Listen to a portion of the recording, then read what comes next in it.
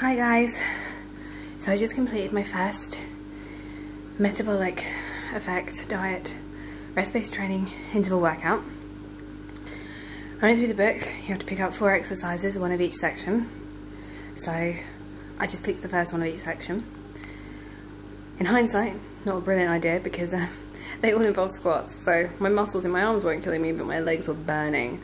Um, it was tough. I am out of breath. I'm quite sweaty. I'm not as out of breath as I would be, say, if I ran intervals on the treadmill or something like that, but you can see I'm glistening.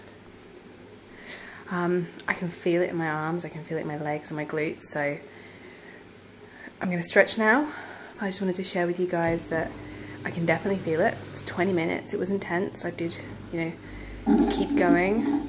Um, I finished, I did five and a half circuits, so I got I did five full circuits and then got through the first two elements and then my timer went. So, so I'm going to do it again tomorrow night at the gym. I used a three kilo dumbbell. Um, I didn't have anything bigger than a four kilo. The four kilo was easy, but I decided that as I couldn't lift the eight kilo into a bicep curl, it's probably best to go with three.